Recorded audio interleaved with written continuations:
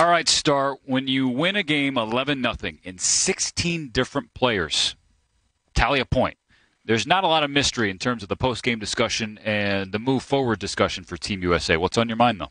Oh, the coaching staff will take a look at the films and see what they like, and probably go down to the lounge and celebrate this one a little Yeah. bit. And then tomorrow morning they're going to get back to work. And the thing that they're going to discuss is they establish their identity, which is what they wanted to do. That they could be a big, heavy team with speed and skill. That's what they were advertised as. And their defensemen tonight, I thought, were much better than they were the other night.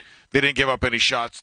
Austria was outmanned. Okay, so we got that part of it. I think right now what becomes the big discussion is who plays goal against the Czech Republic. Dustin Wolf didn't get tested, but he did get tested against the Russians, and he played well.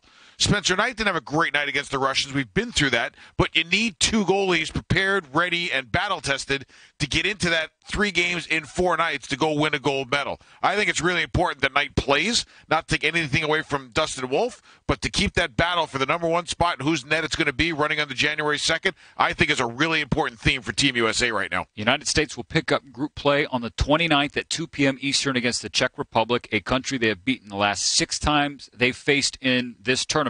The last loss to the Czechs in the World Junior Championships, 2012, in a tournament that the United States would like to forget.